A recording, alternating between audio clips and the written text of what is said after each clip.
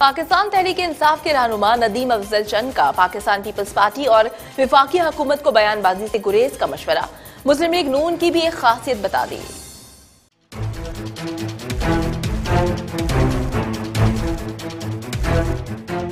वज़ीर आज़म के तर्जुमान और पीटीआई रहनुमा नदीम अफजल चंद का कहना है कि कराची के बहुत मुश्किल हालात हैं, इसलिए पीपल्स पार्टी और विफाकी हुकूमत को एक दूसरे के खिलाफ बयानबाजी से गुरेज करना चाहिए और अपनी तमाम तर तवानाई कराची के आवाम पर सर्फ करनी चाहिए ताकि उनके मसाइल हल हो सके। नदीम अफजल चंद ने मुस्लिम लीग नून को आड़े हाथों लेते हुए कहा की नून लीग वालों की एक खसूसियत सबसे जुदा है की वो जब अपोजिशन में होते हैं तो पाँव पकड़ते हैं और जब उन्हें इकतदार मिलता है तो वो गिरेबान पकड़ते हैं।